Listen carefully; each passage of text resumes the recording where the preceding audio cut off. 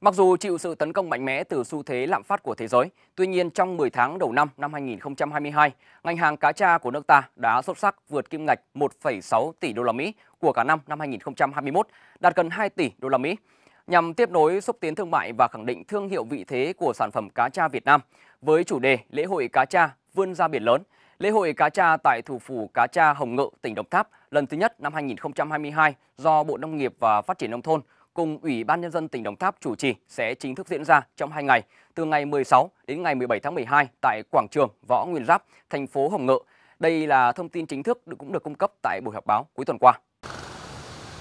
Sự kiện này được tổ chức nhằm cổ vũ, động viên, ghi nhận sự đóng góp tích cực của ngành hàng cá tra trong nền kinh tế của địa phương và khu vực đồng bằng sông Cửu Long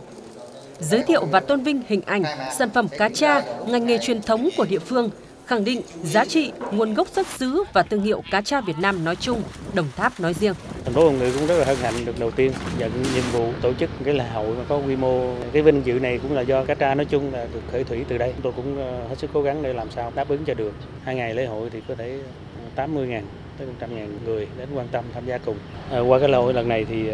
chúng tôi cũng mong muốn rằng chúng tôi gửi được một cái thông điệp đến không chỉ là với người dân trong nước mà với cả bạn bè quốc tế chúng tôi đang thực hành một cái nền nông nghiệp có trách nhiệm được kiểm soát chặt chẽ ừ, từ nông trại đến bàn ăn tạo ra những cái sản phẩm ừ, có tính quốc tế có tính cạnh tranh cao và đáp ứng được cái nhu cầu của người tiêu dùng quốc tế cũng như là đóng góp cho cái nền kinh tế của địa phương cho quốc gia một cách nó bền vững. Trong cái bối cảnh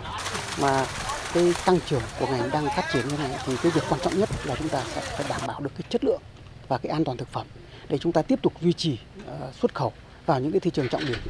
Và đồng thời thì ngành cũng đang nỗ lực để tiếp tục chúng ta à, phát triển cái thị trường nội địa thông qua một số các cái hoạt động quảng bá giới thiệu sản phẩm. Ví dụ như là sắp tới sẽ tổ chức cái lễ hội cá tra à, tại Đồng Tháp là một số các cái tỉnh trọng điểm. Cùng với lễ khai mạc và các hội nghị lớn của ngành hàng thủy sản trong nước, lễ hội lần này sẽ có những hoạt động văn hóa đặc sắc tại thủ phủ cá tra của Việt Nam là thành phố Hồng Ngự, Đồng Tháp, như lễ hội hóa trang, diễu hành đường phố, yến tiệc cá cha, hoạt động thả ngư đăng, thả cá ra môi trường tự nhiên, các tour farm trip. Cùng với đó là triển lãm trưng bày các sản phẩm văn hóa ngành hàng cá cha, không gian trưng bày, triển lãm và phát triển các sản phẩm ô cốp vùng miền, sản phẩm tiềm năng của tỉnh Đồng Tháp.